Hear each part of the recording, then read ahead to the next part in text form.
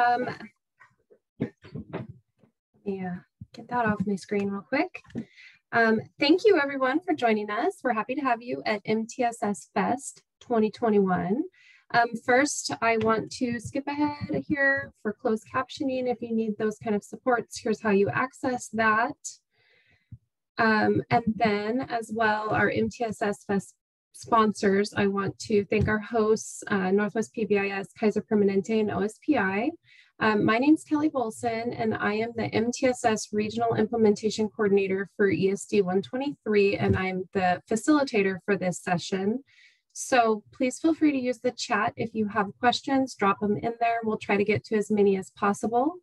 Um, but let's get started. It's my honor to welcome Correy Watkins to our virtual MTSS Fest. Uh, Correy Watkins is from NIRN, and he will be speaking today on planning a meaningful evaluation and assessment calendar. So Correy, I'm going to quit sharing so that you can take over.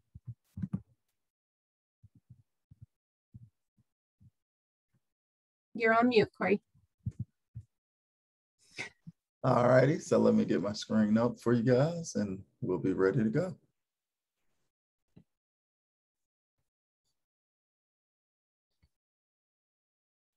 All righty, so you guys should be able to see my screen now. All righty, so. We can see your uh, slide notes if you want to switch that, if you do okay. the swaps well, displays. That, call that screen. It's been fun today. There we go. Okay, looks good. Much better so many screens and so many things to change with the Zoom. Um, so still mid morning. Good morning, good mid morning to you guys. Um, I'm in North Carolina on the East Coast, so it's early afternoon. So I'm glad that you guys um, chose to come to this session. I'm really excited to speak more with you guys about um, evaluation and assessment. So without further ado, let's get started.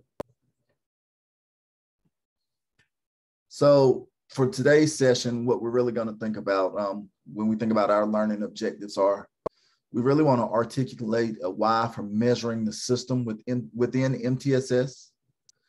Um, try to identify some components of a decision support data system to plan for a meaningful assessment calendar, really thinking about what does an assessment calendar look like and how do we build this out for the year? Not only that we have one, but one that's actually something that people can actually use, right? So like we don't want to have things on top of each other. And um, also just how do we communicate the value evaluation plan and assessment calendar to our staff and to our stakeholders? So those are some of those are the big ideas that we want to learn today.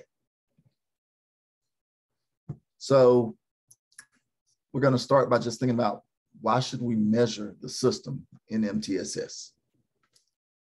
So really the need is the why is really just we want to really check on the impact that we're seeing on our students, right? So we really want to focus in on that. So we ask a couple of questions. One is really just, are we achieving our outcomes? So we really want to look at the impact of the things that we're putting in place, right? And how are they affecting not only one school, but all of the schools within our school district, right?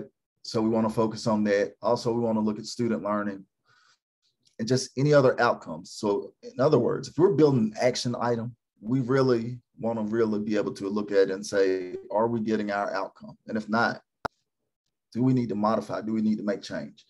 Which leads to our second question. It's really about improvement, right? If you guys came to the keynote, you heard me speak like I always chuckle and say that I live in circles, right? Like I live in improvement cycles. That's what I've been doing like the last 10 years of my life. So it's really just understanding that we get to checkpoints and then we need to determine where do we go from here. So the work never stops. It just continues. So it's a cycle. And we just want to really think about how do we do this? And again, just building effective systems that give us our outcomes, that promote systems change. So this helps us to really do the what or the innovation really well. So again, we're speaking about MTSS.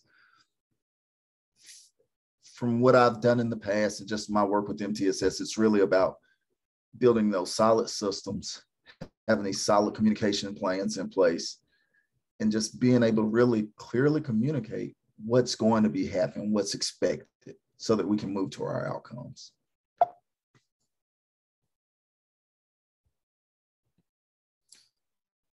So as we think about this framework for addressing practice and supports, the big idea is really about uh, we're really focusing in on our assessment evaluation system, but really what we're really thinking about is the educational practices and the supporting infrastructure. These are the things we have to have in place.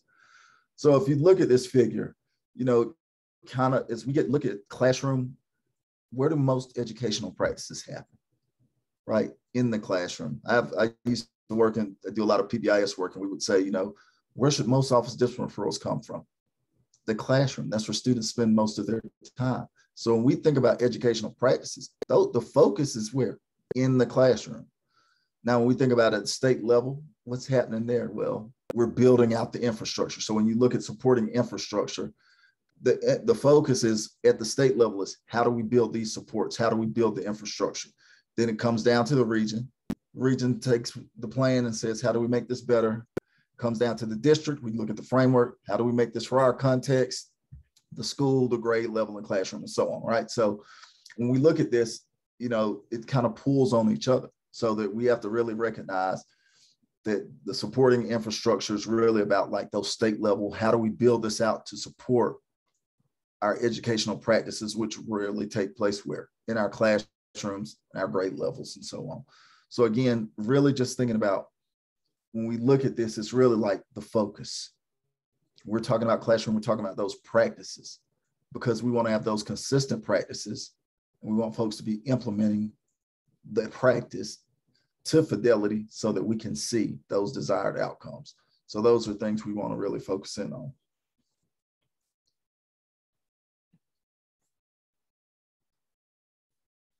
So as we continue to talk about measuring the system, you kind of have to think about some questions that you want to ask when you think about our MTSS implementation. So when we think about fidelity, how well are we implementing the critical components of MTSS and practices that are currently intended? So when we're doing observations, are we actually following this? Are we implementing as intended?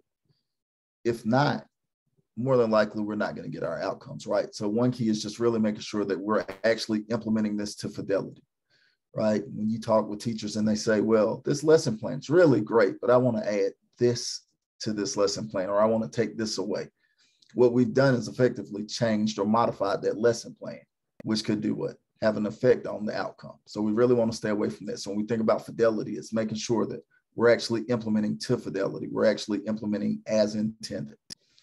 We think about capacity. Just thinking about as we're building these systems and these supports, do we have enough coaches? Do we have enough supports in place for this to actually work? do we need to go back and reevaluate our plan and modify this? Right. So when we think about this, we're about to scale this up, which leads to our next question. How many schools are going to be implementing? There are 25 schools in your district and you have two coaches. May be difficult to roll out full scale implementation for 25 schools with only two folks to support all 25. So it's a matter of coming back and saying, what's the best way for this to be for this to happen, for us to actually roll this out, to get to our outcome, but also so that folks can be successful. Right? There's nothing like, well, the entire district's going to do something. And then some folks get the outcome and others don't. And what happens to that strategy? It loses its power, it loses momentum. More than likely, it doesn't stay around. So we want to avoid that. And then finally, just thinking about our impact if we do the do a good job of building fidelity, implementing with fidelity, building out our systems with you know to support with the capacity we have, and also scaling this up in a way that's smart that gives everyone what they need, we should get our outcomes and we should see improvement.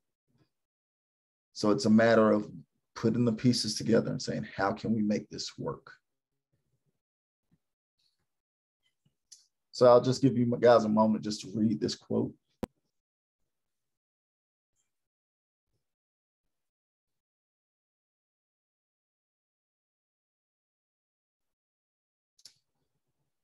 data drives everything that we do, right? So without the data, we can't have the information to make informed decisions. And that's really we're thinking about. It's how do we make the best decisions? How do we build out the best plans to support our staff and our students? One thing I always like to talk about is when we think, think about support before we go on is we always say we're student centered. We want to support our students. That is so true. But I think we also have to take a step back and say we have to recognize we have to support our staff if we give them the supports they need, they will be able to provide that information, the material, and those practices to our students, which will give us our outcomes. So it's important that when we always say we support students, we also have to also say we support our staff as far as thinking about moving and getting to our outcomes. So now we're going to start talking about just these best practices for measuring the system. So when we think about the implementation drivers, we're thinking about the three big ideas are competency drivers, organization drivers, and leadership. So I spoke to this earlier, but just a quick review is just with the competency drivers, it's all about the selection of the practice. We're talking, we're spending most of our day talking about MTSS. So MTSS is the practice. Great. Now we've got to talk about well, how are we going to train it? How are we going to provide professional development and professional learning? And also how are we going to coach our folks on this? Coaching is an important part of this. It's a big key. It's as far as thinking about training and coaching need to be tied together, those plans, because you're talking about providing professional development, then providing coaching, and almost basically thinking about a preview for the next step in professional learning. But also having those relationships where if you're a participant, you feel comfortable contacting your coach for additional support. So we want to think about that we think about the organization drivers again, just really focused on systems. How do we build out the most effective systems? And then leadership. And we mentioned leadership earlier. I think you guys heard Karen mention like the term champion. Someone has to champion the work and remove those barriers so that we can do that. And if we do a good job of those three things, we typically implement the fidelity, which lead to positive outcomes. Now, this afternoon, we're going to spend most time talking about decision support data system. So let's talk about the best practice, thinking about decision support data system. So things that you want to think about. The big ideas are really it's how do we monitor our data and how do we use that data to make decisions to improve outcomes? Again, we're talking about continuous improvement. And then we've also got to make sure we celebrate success. I think I've slightly mentioned to you guys earlier that, you know, school has a begin date. So in two weeks, my seven year old will start her first day of second grade. She's excited. She's done all of her summer work packets. She's going to go through the whole year and then she's going to end school next June. Now, throughout the year, there are checkpoints, right? Those checkpoints are telling us how current level of performance is. Where is she at? Is she on pace to be where she's supposed to be? What happens sometimes is we think June comes, school ends. Well, that's where the fun begins for you guys because now it's taking overall school-wide data and starting to plan to say, okay, where are we going from going to from here? We've got this data for the entire year. We need to start planning for next year. So when we think about that with the data support system, we really just think about the process. How are we going to collect our data? well, first of all, how do we train staff on what data we're collecting, how to input the data, and actually how to use it? The next question we should ask is Do we actually have the capacity to do this? And if not, we've got to manage our infrastructure and say, How can we make this happen? And then again, fidelity, right? Again, I mentioned I have a behavior background. There's nothing like reading an office discipline referral and you're trying to provide additional support to a staff member, you can read and you say, wow, I can tell this teacher was slightly upset with this student when they were writing this referral. And you can go through and you're trying to get these data points from that office discipline referral, and you're saying, well, there's there's not it's not written in a way that we can get what we need to provide support. So how do we train folks on something as simple as how to complete an office discipline referral? So that we can take that data from that referral and provide support if necessary. So it's really important when we think about this. Again, it's just think about the process. How are we going to train folks on how to do it? What resources will they need? How do they actually input the data? Then making sure we actually have the capacity for the data to be put input into a system to give the information to us in a, in a manner that we can actually use it and make sure it's a timely manner. And then also making sure the actual folks are doing it or actually implementing this to fidelity. You know, we could use attendance as an example. What's a tardy versus a non-tardy? And if one teacher's not marking things tardy that should be marked tardy, that could have an effect on our data, correct? So those are things to consider and think about. So one thing we say is there needs to be someone who's accountable for our data. So we think every school team, every district team should have a data guru, right? Now, this is their role on the team. This isn't just their job. This this isn't necessarily their job. This is their role on the team. So this person's really just the role. Their role on the team is to make sure that they actually have access to all of the data, so that when we come to meetings, we actually have the data that we need to make decisions. They also can, you know, help coach or train folks, but it's really just about them being able to make sure that the data system is functioning in the way that it is designed. So an obvious example again is we're not getting any um, attendance data input on time. That would be a red flag to our data guru, the person on the team who says, you know, we've got to do something, we've got to modify this because attendance data isn't being input at the appropriate time. So we're never we never have data for attendance with our meetings. So again, you just want to have a data guru who is accountable and understands how all the systems work so that when we do meet, they have those data points with them so we can have educated conversations about where we want to go. So again, just it, just some more clarification on um, some accountability within the implementation team. That data guru, aka data coordinator, their role is to make sure that when we get to those meetings, we have everything that we need in order to make those decisions. So grade level chairs could actually have, you know, when we're having professional learning communities or PLTs with the grade level, again, they can have, they have access to all of the data for the grade level and each individual teacher would have their grade level. So we could have conversations about academics, behavior, attendance, or whatever.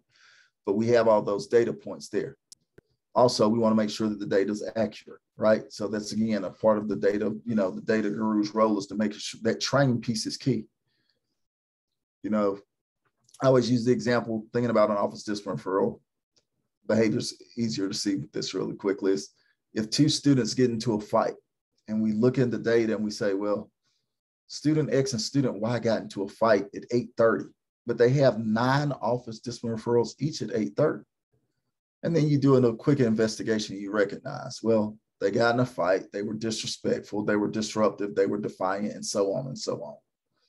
But the real point is they were fighting. That's why they're in the office. So the point is when we think about that, we want to know the actual reason for the behavior in order in order to say, okay, this is the reason they're in the office. These other things are things that happen. So when we think about that, it's a training piece, right?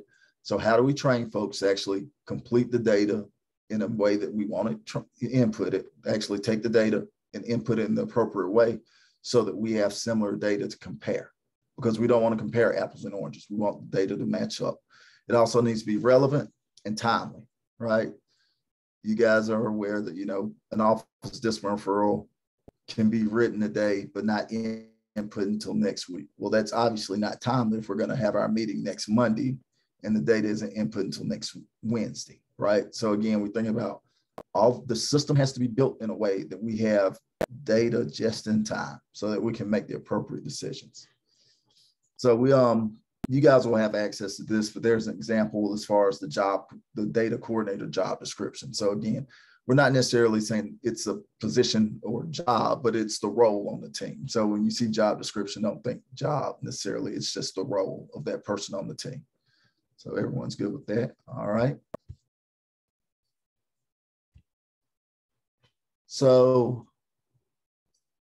we're going to have a quick question. We're going to actually um, take a quick poll. So our question is, is someone or multiple individuals identified for the data guru role? So think about at your schools.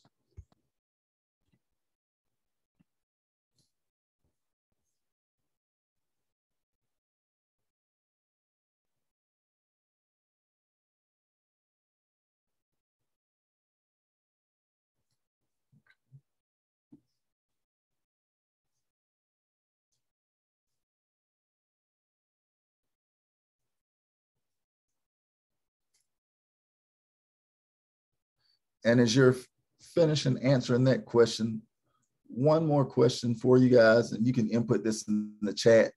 What is one action you think that's needed to support the data guru role on your team?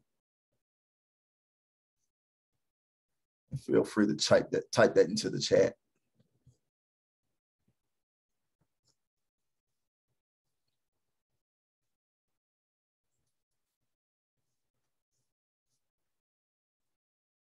And about 70% of you guys have answered that you do have a data guru at your school. You do have that role.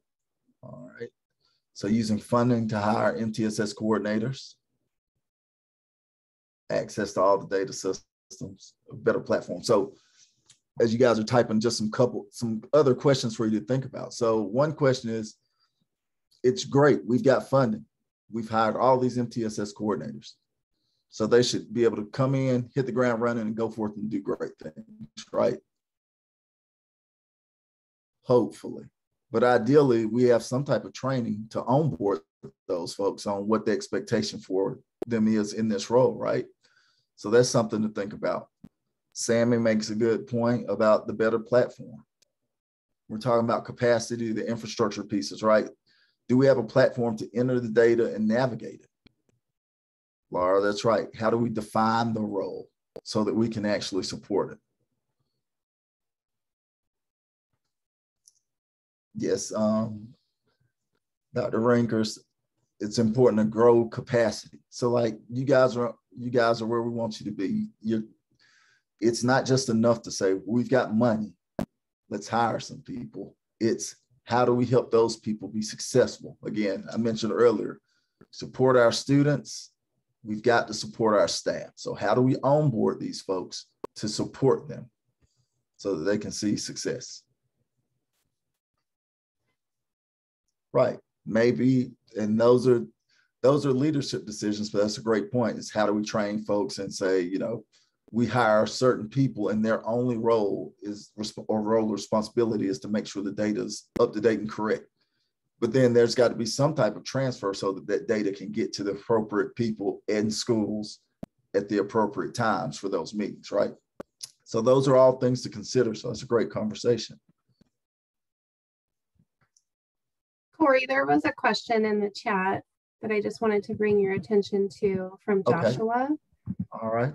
Um, question for a K-12 school, is it recommended to have multiple data gurus, i.e. one for elementary, one for middle, and one for high school? Okay, great question, Joshua. So, uh, oh, this is really exciting because it is just it's a K twelve school. So, ideally, we would say, and Karen mentioned this earlier, when we think about these teams, typically it's five to seven. So it's typically one person. But for this example, when we think about if it's just if it's one, you know, if it's a K twelve school, the idea is you could have three. I don't think it would hurt anything because that means one person's focus would be on elementary, one would be on middle, and one would be on high. So then it's it's almost like schools that have multiple, you know, multiple assistant principals and they handle a specific grade level, right? So those folks are they're keen on they're they're educated on what the data points they're looking for at those levels are. So I don't think that would be problematic at all to have multiple at each, you know, in a K 12 school of one school if you said, well, we've got part of our team includes three data gurus because at a certain point in time, that that could become troublesome for one person to try to manage everything K 12. So again, if you have if you assign that role to one person for each grade level, I mean each group, I don't think that would be problematic. But typically, if it's just one, if it's just an elementary school, it's one's enough in most situations. But K 12, yeah, if, more than likely it would make more sense to have multiple people because they can just focus on the grade level data for the data they cover. great question, Joshua. Thanks for bringing that to my attention. Um, now, as we continue, what we really want to think about here is just making sure that data is just available, right? But data should only be shared with like relevant parties. And that, you know, I, I always jump to like the financial piece. I'm not sure that my first grade teachers really care about the financial reports for our school. That feels like a leadership piece, right? So it's really just making sure that the data it reaches the appropriate folks. Now, leadership is going to be looking at all this data, but then outcome data, that's teachers, grade level team. So that's everyone, but that's also going to be shared with what the community, because people want to know how are our schools performing. So we have to think about like, we really want to focus in on that all the data should be shared with the folks should we're not trying to hide anything from anyone, but only relevant data should be shared with relevant parties. That's all we really want to think about here. So it's not like we're just locking all our data down. Again, I'm, I'm sure that there are certain things that you guys report to your state department. It's just, you know, it's it's actually public information. So it's a matter of it's public information, but how do we communicate what the data is actually saying? So again, making sure the data gets to relevant parties in a manner that they actually understand what we're trying to communicate and what they're actually seeing. So let's talk about some different types of data. So one part of one type of data we're talking about is just a program or process, right? So these are thinking about these are like we're thinking about our systems and administration. We're thinking about what's enrollment look like. All right. What about staffing? What about the training effectiveness? These are things that we really want to measure because I know schools are I'm not sure if schools have started there, but I know North Carolina schools are about to start. Staffing is a key. We've got to make sure that we have enough staff to support our students for the school to actually run. So how do we make sure that we hire highly effective staff? Training effectiveness. You guys are at MTSS Fest right now. More than likely, there will be an evaluation. We want to know how effective this was. How can we make things better? Right? So we want to think about next year, we're they're planning MTSS Fest. How do we make things better? What do the people say they need? How do we improve? Right. And then enrollment. Enrollment guys and drives what staffing looks like, what supports look like. Going back to Joshua's, you know, question. Now, if the school is smaller, you could possibly have one or two data gurus, right? It just depends. So you use this data to make decisions. So that's one type of data, just think about the program or the process data fidelity data. Really just thinking about are we actually implementing things to fidelity? Are we following our strategies? There's nothing like providing professional development and then having to go do an observation saying, Am I seeing what we thought? Are they following this? Is the curriculum being taught as designed? And that's why fidelity is important we talk about making sure that folks are on the same page. It's again, it's this is how we do business. But we've got to get to that point that everyone is on the same page. We all function in a similar fashion. That also supports our program or process. If we only have three district reading coaches, multiple schools, I can't learn 19 different reading programs, right? I can't support all of that. So it's a matter of saying, well, Fidelity says these schools are doing this. This is how we're going to support them. Again, fidelity data is very important, which leads to our final data point, outcome data. If we do a good job with our program and fidelity data points, our outcomes are going to do what? More than likely, we'll see improved achievement, teacher retention, increased knowledge. Uh, and I always chuckle about teacher retention because I say when teachers are happy, they stay. So how do we build effective systems that support our staff so they can have effective practices that which support our students? Staff want to see kids successful. So how do we help them to be successful? And really we look at those outcomes and say, how do we make things better? We get feedback from them. Again, those are the things we focus in on. So the next few slides, guys, we're going to get really deep in the data. So get excited. So um, we're going to talk about, you know, quantitative data, data, which is the big D or lowercase d, qualitative data. So we're really going to start drilling down and um, going to try to keep an eye on the chats because I think some things, some questions may start coming up in some comments. So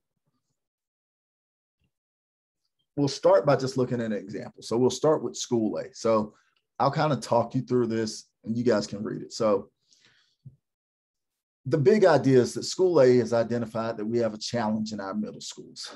That challenge is attendance. So we're going to problem solve and make attendance better. We're going to put a plan in place. So the data we decided we're going to use is attendance, including tardies and early dismissals, office discipline referrals, and suspensions. That's the data we're going to look at to improve attendance at the middle schools right now for this example. So our solution is we we've um we came up with an attendance campaign that includes celebrations for improved attendance and decreasing referrals at middle schools. So what were our outcomes? Well, we saw a reduction in the number of days missed, so that's a good thing. We also saw a reduction in tardies. That's a good thing. But what did we notice? An increase in office discipline referrals and an increase in days of suspension. Now, before I move on, any ideas, feel free, take a moment.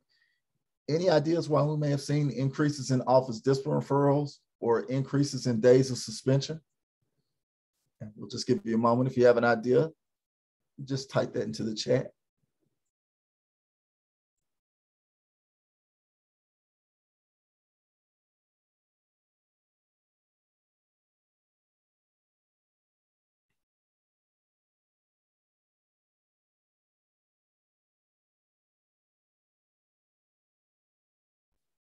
I'll give you one more moment. Just again, any ideas why we may have seen increases in office discipline referrals or days of suspension?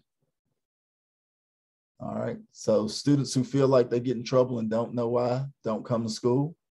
That's possible. Any other ideas? We saw a reduction in the days missed, reduction in tardies, but we saw an increase in office discipline referrals and an increase in days of suspension.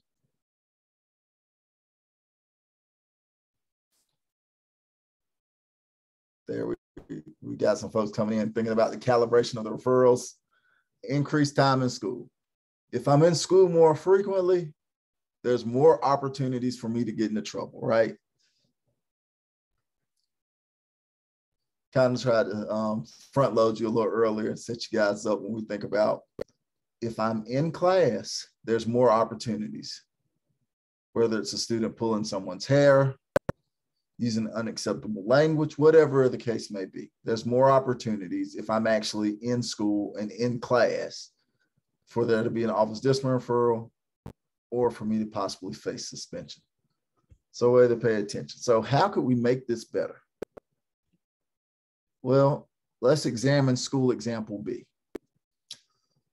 So school B says we've got a challenge with attendance in middle schools across the district, and that's a concern for problem solving. So just some of the data points they're going to use is attendance, inclusive of tardies and early dismissals, office discipline referral, suspensions, but they're also going to look at lesson observations. How many after school programs do we have available? What about after school program attendance?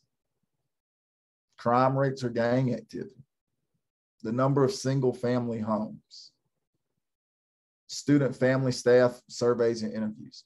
So they're collecting, they're using a lot more, they're using more data points than our previous school, right? So their solution was they're going to come up with a campaign as well eh, to include celebrations for improved attendance and decreased referrals.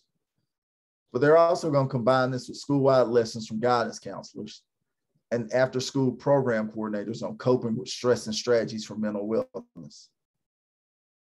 Also, if we're going to do this after school, maybe we should provide some type of transportation for students.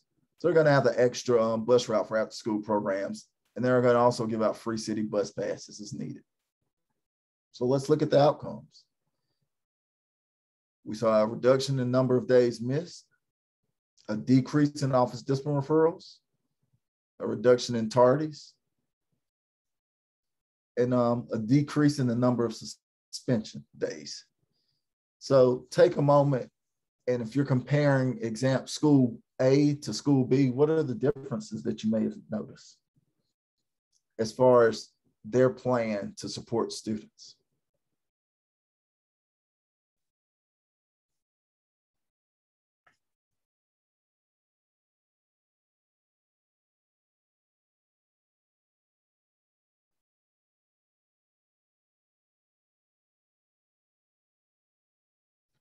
Right, Jason. They aren't just present, they are supported.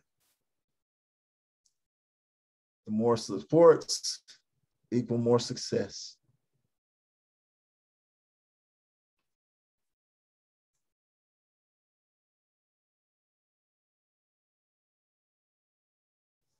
All right. So we'll kind of speak to this more shortly.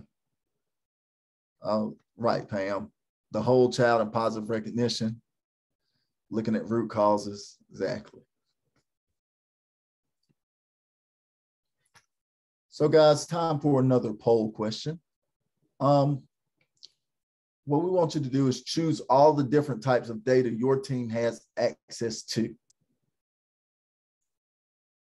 And then if there's not some, if something's on, not on this list that you wish you had access to, if you could type that into the chat, we'd appreciate it.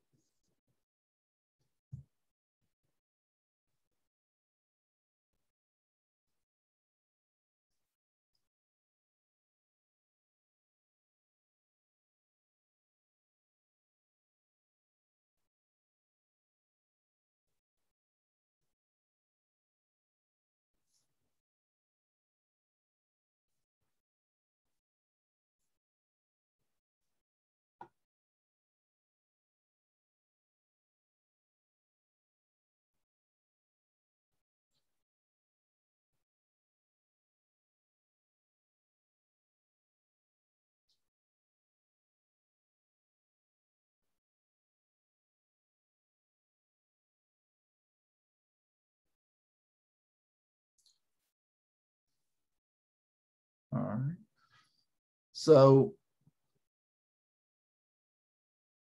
we've got about 75% of the group has responded to the poll. You guys feel confident that you get academic and behavior data, right? Like we've got access to that. But let's think about fidelity and capacity data. It's about 19% in the scale. Now, we talked a lot about how important building effective systems are because those systems support our teachers, which support the practices that provides outcomes for our students. So, yeah, we we get the outcome data. But how do we measure the systems we have in place? Is there any data you wish you had but you don't? And you can type that into the chat box.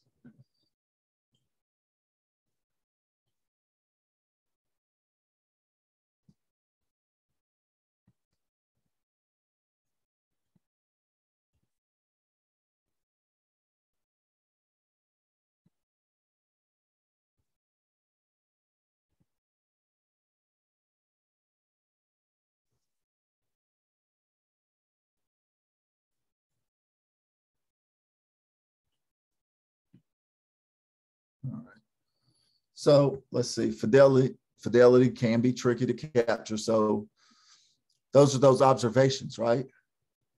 So we'd have to build a system to use observations to measure fidelity.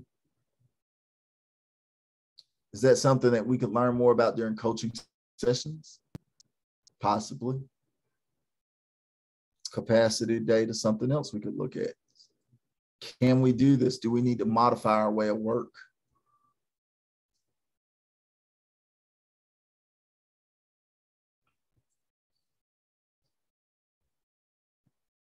So we think about this slide right here, guys. What we really want to think about is just data really has to be useful and usable, right? We've got to actually have access to it and it's got to be usable.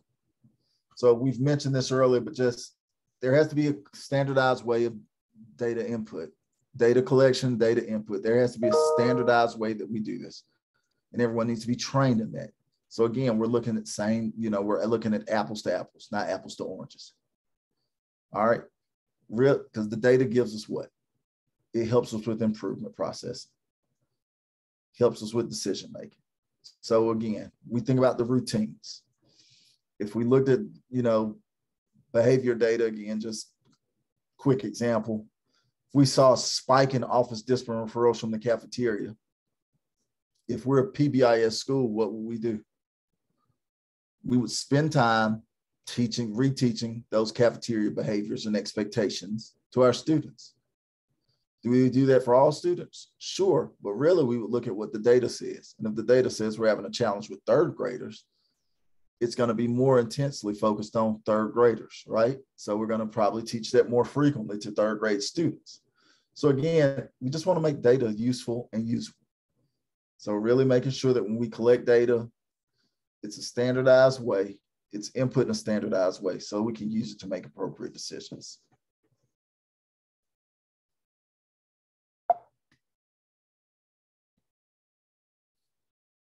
All right. And you guys are familiar with action planning, but just really to walk you through it, when we think about data collection, who, what, and when, we would start with what our indicator is. What are we measuring? You know, what group is the data being collected from? Is it a district team? Is it building school? Is it teacher student?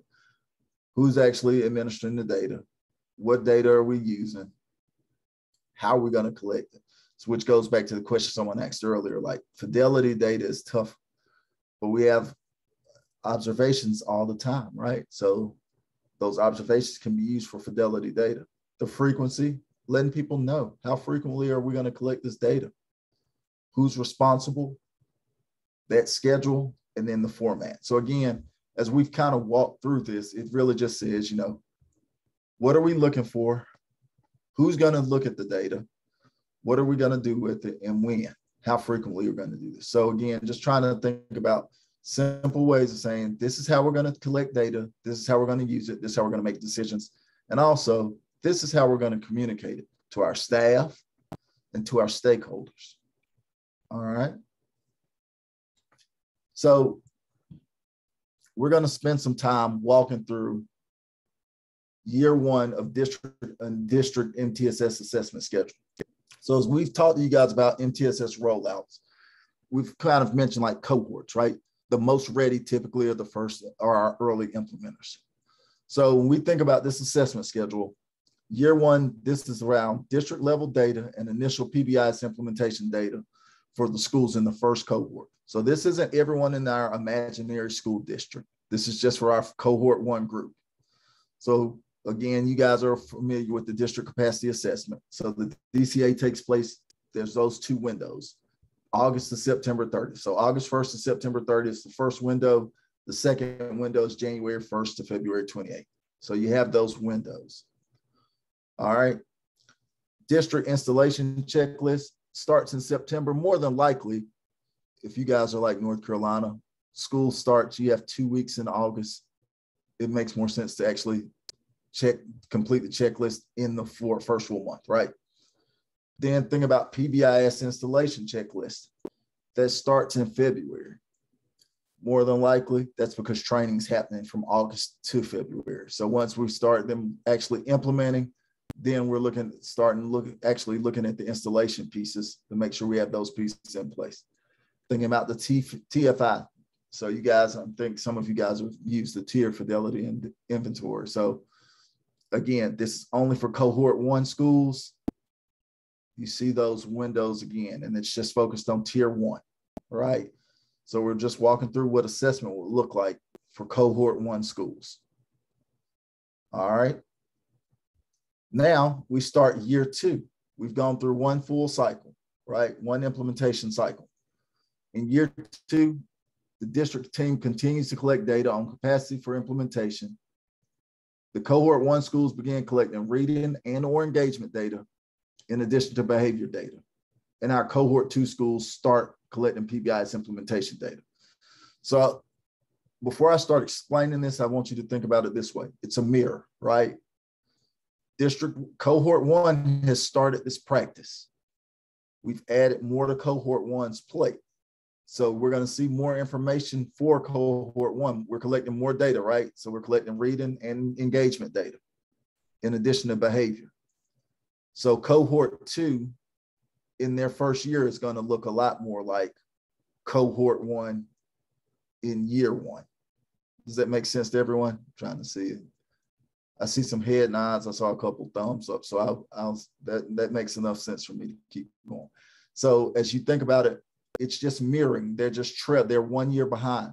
One more thing to consider: when cohort two starts, they're also getting some. It's going to be slightly modified based on information we learned from implementation with cohort one. So anything that was learned, any missteps, has been taken into account with the rollout for cohort two. So again, you guys can, we're not going to read through everything this time, but again, you can look at those windows and you can see how cohort one PBIS installation, for example, starts in August, that checklist. Cohort two starts in January. Does that look familiar when we think about cohort one, year one? Everything started in January. So cohort two is basically they're walking in the footsteps, they're following the footsteps of cohort one as far as timing, right?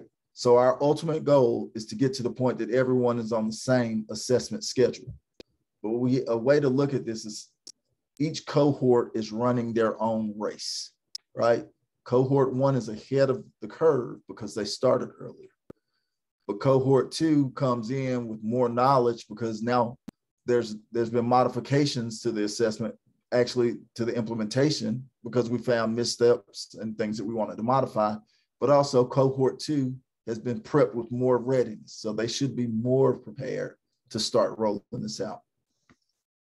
So I'll let you guys just look through this again. You can see how the data collections set up throughout the year.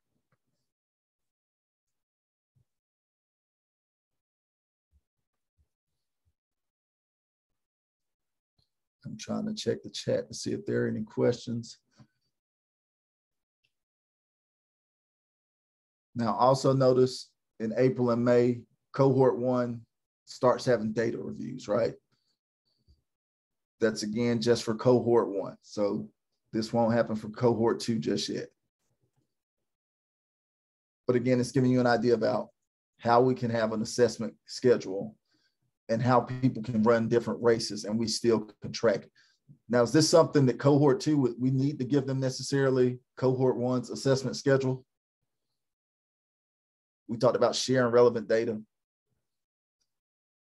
I mean, this is something we could share with them, but ideally we could just share what their assessment schedule looks like. Because again, our ultimate goal is to get everyone in the same place. So now we're going to look at year three.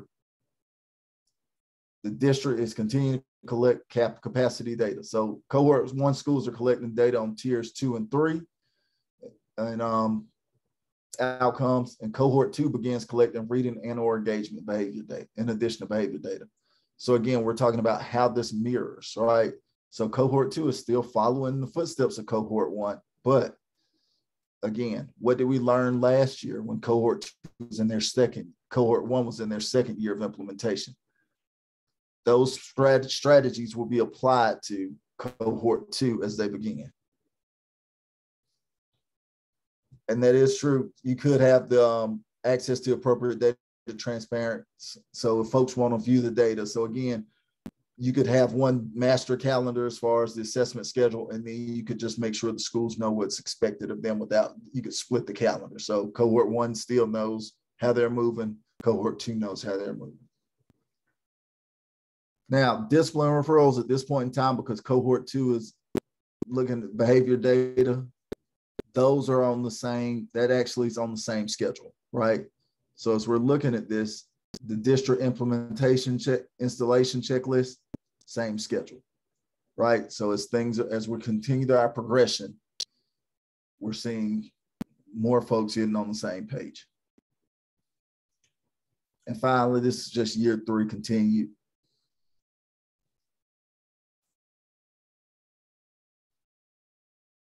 All right. And now we're at year four. So once we get to year four and everyone's on the same page, obviously it looks very similar because it's exactly the same. The assessment schedule is the same for everyone in the school district. Cohort one and cohort two schools are all on the same page.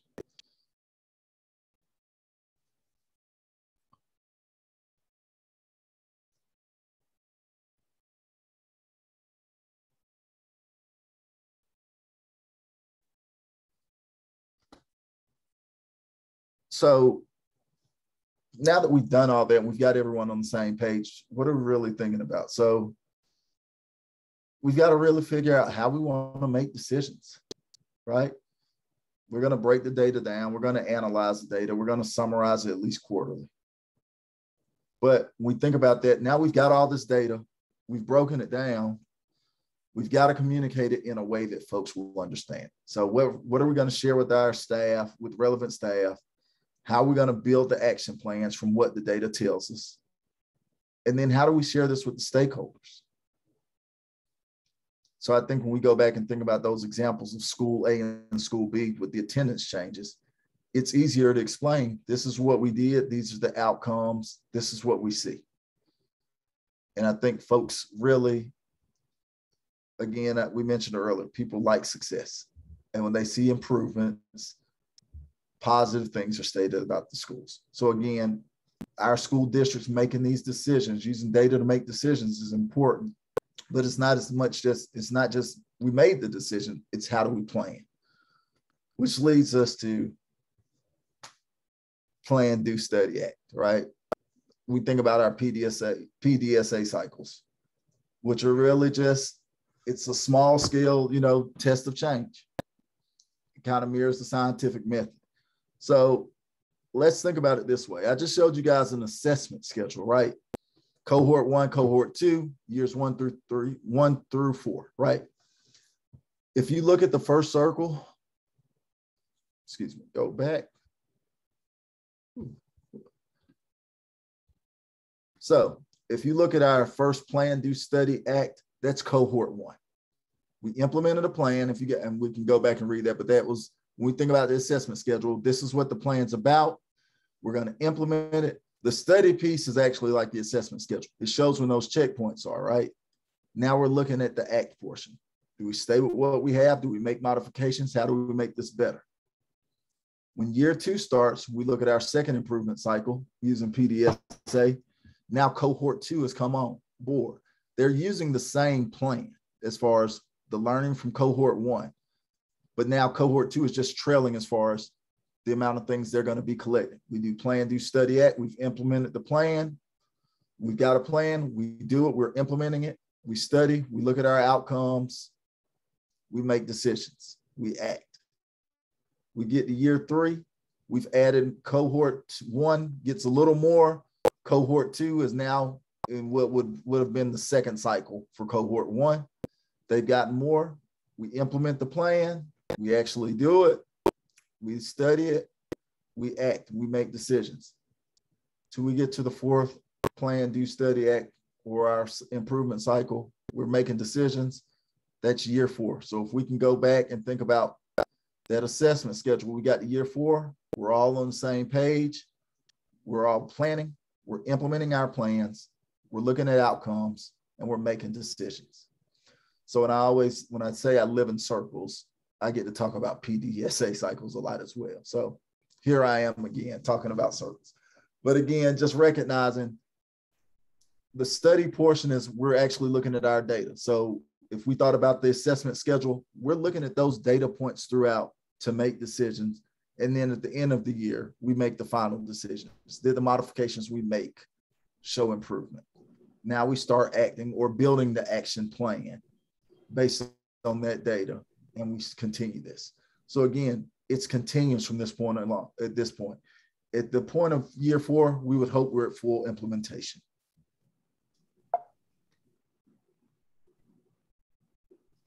All right. Now, we mentioned earlier just equity.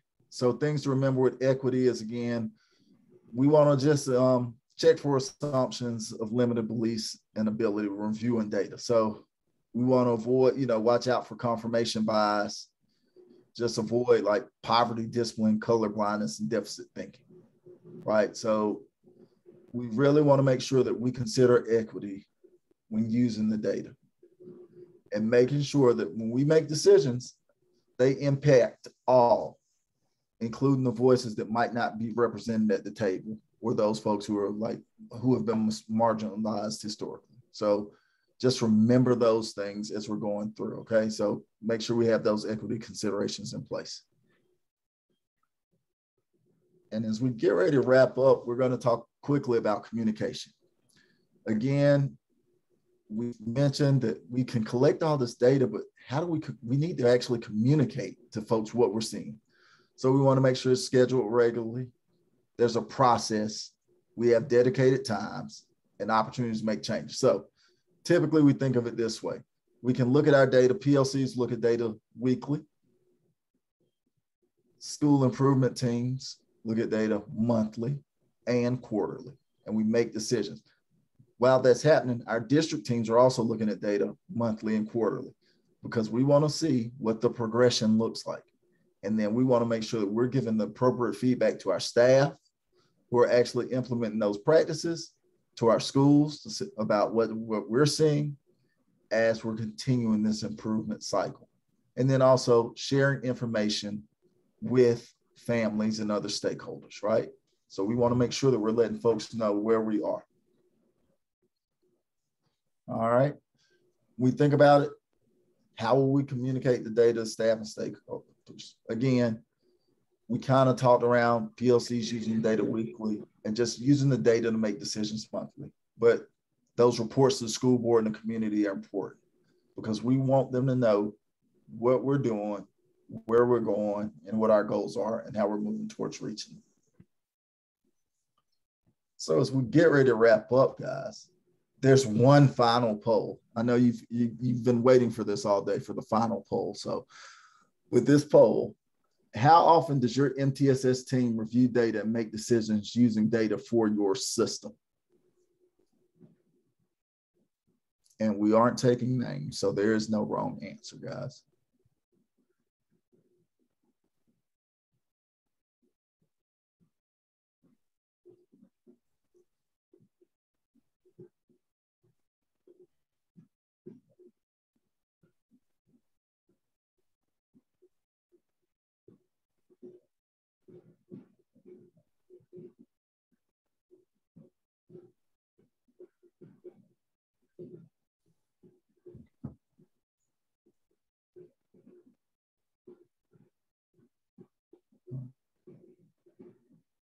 And I'll give you another moment to answer the poll question. Also in the chat, um, if you have one idea about an action your team could take to improve its process for using data, we'd appreciate it if you'd share.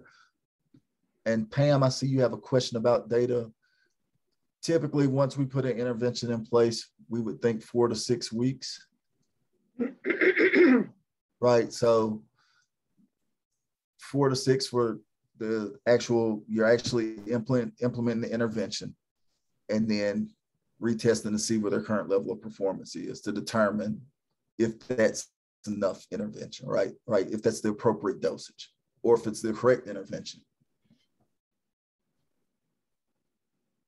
So i hope that's helpful. All right. And as we look at our poll we've got um, most groups think they look at the data quarterly most of you guys say quarterly. So it's a matter like, again, this all goes hand in hand. So it all ties together. So ideally, PLCs are looking at, we're looking at data weekly. School teams, improvement teams are looking at it monthly and quarterly. It's all a progression so that we can, again, monitor how we're moving. So as we get ready to wrap up, guys, since we're, we spoke so much about progressions, um, just want you to remember to believe in the possibility. So there's a seedling growing out of the ground.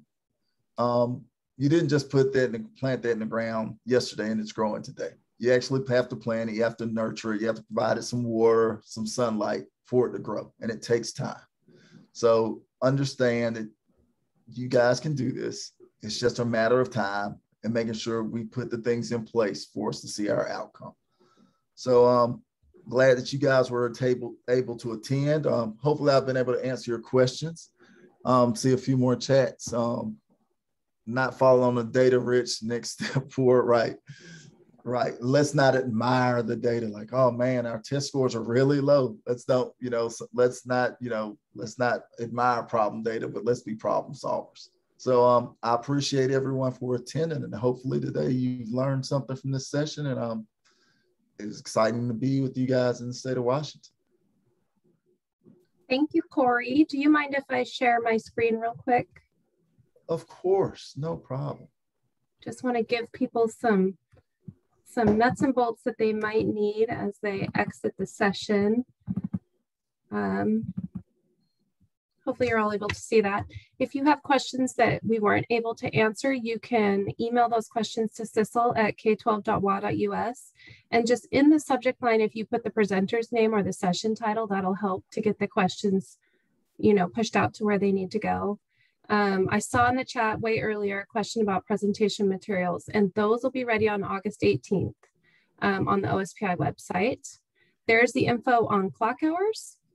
And if you have any questions, let me know. I'll hang out on here for a few minutes, but otherwise, thank you guys so much for attending. Appreciate it. And thank you for the great information, Correy. Thanks for having me.